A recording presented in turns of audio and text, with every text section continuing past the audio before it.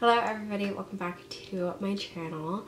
So today I'm going to be starting a new series, as you can probably tell by the title. It is called The Coffee Crawl. So I've had this idea for a couple months now. I started filming it over the summer and I've just been sitting on it since because I haven't been 100% sure the direction I want to go with it, but I figured today was the day we're finally going to sit down and do it and get it out there in the world. As you guys know, I am a huge iced coffee gal and I absolutely love exploring and traveling to new cities, countries, places, all of that kind of stuff. And I really wanted to find a way to kind of combine those elements that I really enjoy and share them with you all. Originally, I was thinking of doing kind of a PDF or a guide to different cities that I've been to. Um, for example, kind of starting out with DC and doing kind of one big PDF that could be available to purchase at a really low price that has places to stay, places to eat, um, drink, visit, shop, everything like that. Um, but I just wasn't sure if I had an audience for that yet. That's something that I definitely really want to do in the future, but for right now, I'm not sure if I have a market for that. So I ended up landing on this idea, which is Coffee Crawl. The Coffee Crawl is essentially a series where I take you to my favorite coffee shops in a certain area or location. This first episode being Washington, D.C. As some of you probably know, I grew up in the D.C. area, so I've really come to know and love these coffee shops over the years, and I'm so excited to share them with you all. I could definitely film like a part two, three, four, and five to Washington, D.C. coffee shops there no limit, um, but these are just some of my favorites, and I'm really, really excited to share them with you all. I hope you guys love this series as much as I do, and yeah. Okay, so first up, we have Compass Coffee, a staple in my DC coffee routine. You can find these shops on pretty much every corner of the city. They have a ton of locations, so they're super convenient and easy to find. There are a ton of reasons that I love Compass Coffee, and maybe the most important one being is that it's genuinely really good coffee. Compass Coffee's motto reads dedicated to making real good coffee. Nothing fancy, nothing too crazy or hard to pronounce, just really good. And honestly, that sums it up perfectly. As a bit of background, the owners were in the Marines together, and that's how they got into the ritual of making coffee. So when they retired, they decided to start Compass Coffee in the DC area. The compass in the logo represents gathering your bearings and pointing you in the right direction, which the owners felt was symbolic of morning coffee the staff is always super friendly and happy to see you. I always have such great conversations with the baristas when I'm ordering and when they're making my drinks. The stores are vibrantly decorated with cans of coffee and maps of where the beans are sourced. I really love looking at them when I'm waiting for my order. It just has a lot of DC pride, and as a kind of DC native, I absolutely love that. My personal go to order is the vanilla cream cold brew.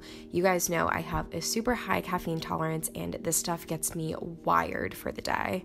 So, simply put, Compass Coffee is a crowd favorite in the DC area, and you really cannot go wrong with a cup of coffee from here. Next up, we have the Coffee Bar. They have two locations in the DC area. My favorite and the one being shown in this video is on 17th Street.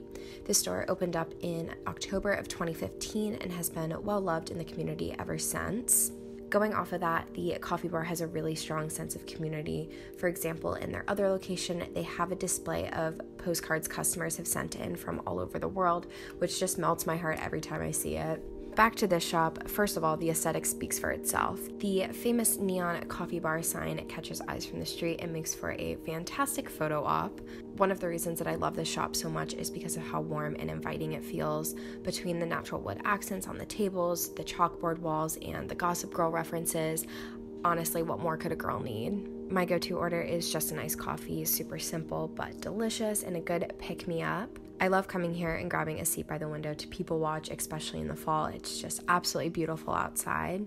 The coffee bar is a great spot for when you need a minute to relax. Because of its location, it's a little bit more nestled into the city and a bit less chaotic than other coffee shops, definitely making it one of my go tos. And last but not least, we have Swings, another one of my favorite nooks in the city. This coffee shop has been part of the DC coffee culture for nearly 100 years. I believe they have a few locations in the city, but this one on 14th Street is my favorite.